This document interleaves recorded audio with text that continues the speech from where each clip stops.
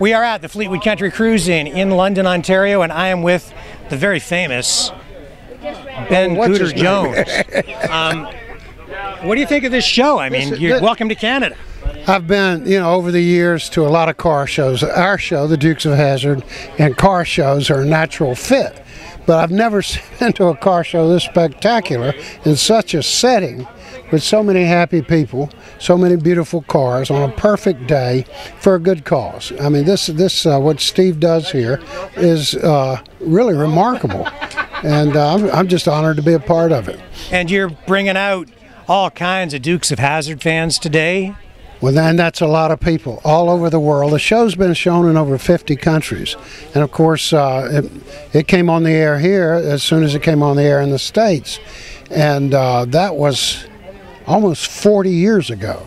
And yet it's about as popular as ever because each generation that comes along seems to fall in love with it. Our show doesn't age. We age, but the show on the show we're always young and we're always in a fantasy land and the good guys always win. Nobody gets hurt. And that's the way the world ought to be. But the Dukes of Hazzard it just keeps going on and going. It's it's going to outlast all of us. Yeah. Was it the, the family oriented nature of the show that gave it its longevity? That's a part of it. There are great values in the show where the kids are really taught right from wrong. They always make the right moral choice. The Duke boys do. They're the good guys, you know, and uh, they'll stick their neck out for you. They always do the right thing, and that's because their Uncle Jesse taught them that way. And so, but it's a show that has those kind of, you know, great family values. It's an overused phrase, but it's true because it was about a family, and families watched it together. And there's very little programming like that anymore. And our, but our show holds up with the great action, slapstick comedy never gets old, great country music, Waylon Jennings, Loretta Lynn, all of those people, that never gets old. And, uh, you know, looking at Daisy Duke's legs, that never gets old either. And you mentioned the action, and that comes Yeah. back to the car, which Great was a star in its in its own right. The, uh, the, the, sometimes the uh, car was getting 20,000 fan mail letters a week. The car. And they send back a picture of the car, but then they ran a, said, well, it needs to be autographed. And they ran a tire track across the postcard that they'd send back.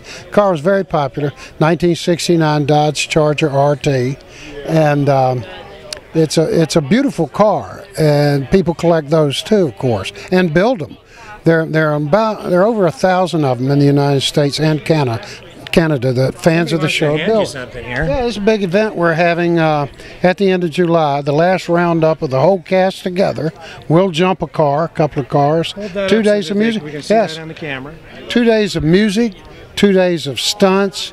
Two, all the entire cast is going to be there, and uh, we'll have wrestling and uh, bicycle stunts, all sorts of Wrestling. things. So if I come down, can we? You gonna wrestle me? yeah, uh, we got Rock and Roll Express is going to be with us wrestling. They're famous. Okay. Uh, anyhow, it's just a big old time. We'll probably have a get 20, 25,000 people showing up. Two days of great music, all kinds of good music. Two days of, and already we have 130 General Lee's coming. That's huge. Yeah, yeah. That's like huge. So, uh, cootersplace.com or Cooters Place Facebook. We're high tech now, you know, in Hazzard County. Yeah, yeah. When the Dukes of Hazzard came on the air, there were only three networks in the United States ABC, NBC, and CBS. So on Friday nights, there would be, we got ratings that are unheard of now 35, 40 million people a week watching this show.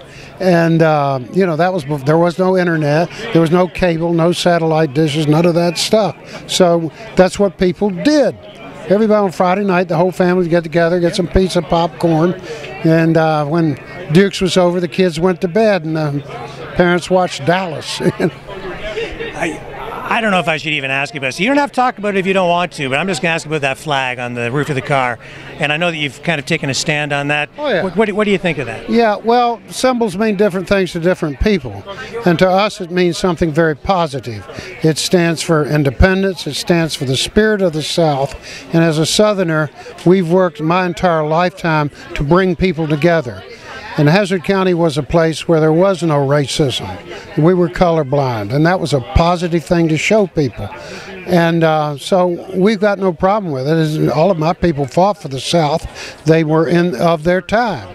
Uh, they might have come out on the wrong side of history. But history is complex. And uh, we have different views of history. Everybody does. And um, my view of it is quite different from these politically correct people who are into cultural cleansing. Uh, you can't change history. You can't judge my good heart. And uh, I was came out of the civil rights movement in the '60s. Uh, I grew up in a black neighborhood. I've never had one complaint about our show, and uh, so I think that speaks more for bringing people together than it does for dividing people. We are into building bridges, not building walls. And I guess the focus on the show just shows how popular it is even today. Among all races, all over the world, all religions. Uh, I, I, as I say, I've never heard anybody say a bad thing about it. And growing up and living in the South, all of my life in the southern United States, uh, most of the black folks I know watch this show religiously. because I mean everybody related to it. You know, it was a harmless thing, and I think it's now being politicized by people who uh, have a very narrow view of of our hearts and of our traditions and of the South. So I think we represent the United States well. The show is shown all over the world in over 50 countries, and it is beloved because of those values. Well, I guess people can come down and check out your event, and uh, I know the South. The South really, to me, is all about hospitality, and That's right. And I hope that we've extended some Canadian hospitality. I'll tell to you, you sure have. Oh, Canada, my home. I know that. I didn't know we were going to get a free stand- concert. Well, too. I watch a lot of hockey games. We stand on guard for thee. Thank you so much Thank for you, joining brother. us on the Thank on the you. show today. Thank you. Privilege. Thank you.